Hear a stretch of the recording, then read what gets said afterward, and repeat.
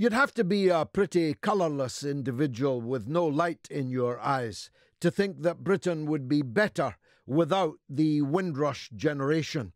The people from the Caribbean former colonies, for the most part, of Britain, to whom we owed a debt, a debt that could never be repaid, were asked by right wing conservative politicians, whisper it softly, principal amongst those, the then Health Minister, Enoch Powell, were asked to come to Britain to staff our health service and our burgeoning public transport system.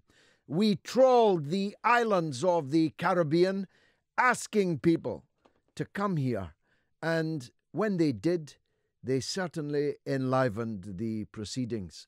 They shouldered the burden of building our post war health service and our post war public transport, and then fanned out into a myriad of different things. When I was a kid, culture in Britain was sausage, egg, and chips, tea, bread, and butter with your mother and father, and Billy Fury on the timetable the influx of people from the Caribbean brought with them elan, colour, dash, style, music, food. I just had jerk chicken for my lunch today, and very nice it was too. They transformed the landscape, not just in London, uh, in Birmingham, and many other parts of the country. They are an indispensable part of us. So who knew then that deep in the bowels, and I say bowels advisedly, of Westminster and Whitehall, politicians were plotting to remove people from this country, to deport people from this country, some of whom had lived, worked, become parents and grandparents here for 50 years and more.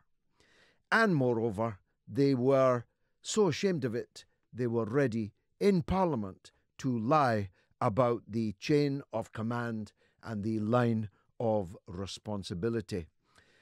Not that Tories were the only ones to blame. I just saw a wonderful picture from the back bench of the House of Commons on which I used to myself sit, in exactly that spot and there were three politicians there who were making speeches against changes to the immigration legislation which paved the way for the deportations of the Windrush generation.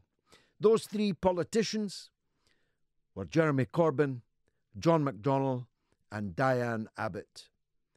And as Diane Abbott said, because it was her tweet I was reading, it's good to be proved right, but it would have been better if the Labour leadership at the time had joined with their three then backbench dissidents and fighting root and branch deeply racist immigration policies which have led now to a governmental crisis, the mother of all governmental crises.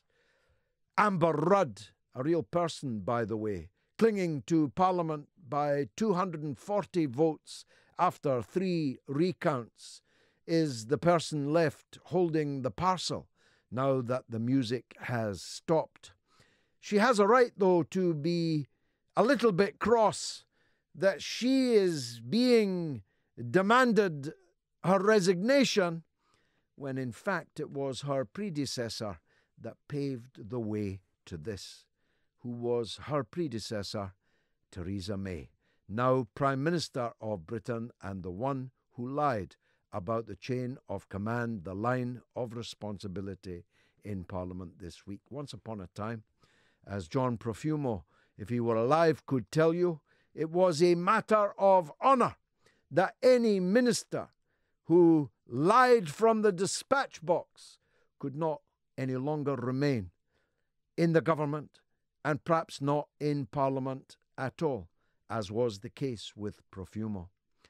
Our ministers including our Prime Minister, can lie with impunity, it seems, and not fall on their swords. Although there's time yet, because this scandal is growing exponentially under their feet. First of all, they said there had been no deportations. Then they said they did not know if there were any deportations. This is the government talking. Then they acknowledged that there had been and that they apologized for it.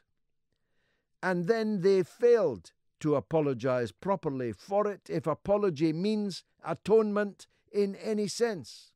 We're talking about people who were deported in handcuffs because they could not prove their right to be here. And the reason they could not prove it is that Theresa May's government, David Cameron's government, with her at the Home Office, destroyed the evidence, deliberately, willfully destroyed the evidence of their right to be here.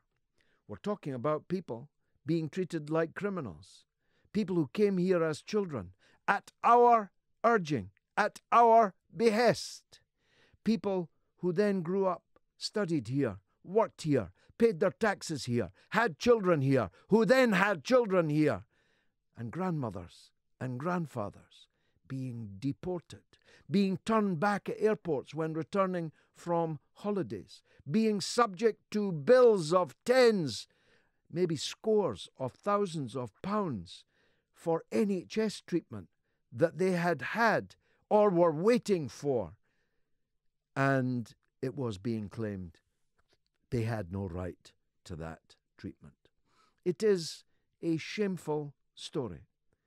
A shameful story to Commonwealth citizens unfolding under the eyes of the Commonwealth leaders assembled in London right now, I know, because I couldn't get down Park Lane for fully 30 minutes as they came and went to their hotel headquarters. The Commonwealth leaders are here.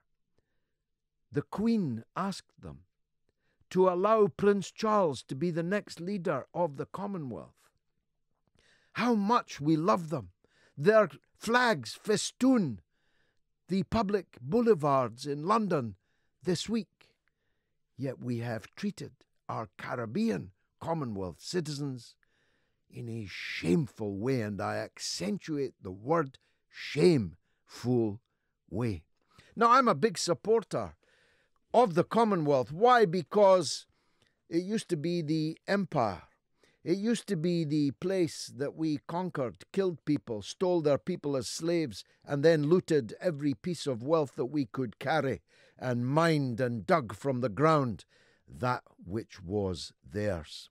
I look at the crown jewels and I see all the thefts from the Commonwealth. I look in the V&A. I look in the British Museum and I see all the treasures that we stole from them. And all they're asking in return is a job on the buses and not to be deported when they become grandparents? Can you think of anything more shameful than that? Can you think of an immigration system more shameful than one in which the entirety of the overwhelmingly white European Union has full rights to come here, set up home, and live and work here, whilst the people who speak our language, who stood by us in our hours of need, who came here at our request to fulfill vital public service roles are actually being deported. And if this story had not broken onto the public consciousness in the way that it has, they would all quietly have been deported. As most of you know, I'm not a supporter of the so called free movement rules in the European Union. I recognize that we will need immigration. I'm a Commonwealth First man myself. If we need immigration, it should be coming from Jamaica, Australia, from Canada, from India, from all the parts of the world that we like to pretend are a part of our family, except when it comes to deporting our elderly family members. And we'll be talking about Salisbury. The Skripals were quite fortunate, you know, to have escaped all these hotspots that are now being identified in Salisbury. We're now told that it was not brought by Yulia in her luggage through Moscow airport, through London Heathrow, and all the way to Salisbury. Neither was it, as we were told quite definitively, powder that was put into the air vents of Mr. Skripal's car. We're now told that it was nothing to do with an Italian restaurant in Salisbury. I won't name it, I don't want to make its long term prospects any worse. Even though we burned the table at which they had sat, burned it, just for the preservation of evidence, you know. We're now told that it was not a gel. We're now told it was a liquid. A liquid poured on a door handle? What kind of delivery system is that? If you pour a liquid onto a door handle, won't 99% of it be lost on the ground? Has any been found on the ground? And if it was a liquid, military grade nerve agent, delivered on a door handle, how come hundreds of millions of pounds are now about to be spent fumigating, cleansing deeply, practically everywhere in the centre of Salisbury? And I repeat this question I've asked here many times. Where did our heroic police officer, Detective Sergeant Nick Bailey, get infected? Was it at the house or was it at the park? I'm asking again, again for the tenth time here. Who are the people of Salisbury supposed to be looking out for? If there are assassins at large with deadly nerve agent weapons, who are the people of Salisbury and the people of all of Britain supposed to be looking out for? Is it a man? Is it men? Is it a woman? Is it women? Is it a tall man? A small man? A fat man? A thin man? A blond man? A red headed man? A white man? A black man? Who are we looking for? Why is there no manhunt for an assassin that has caused such mayhem and damage in one of our cities? I ask again, why, in the most militarized county in England, hear that again, the most militarized county in England, are there no CCTV pictures of anyone of interest in the investigation of this crime? Why is there no identikit drawing?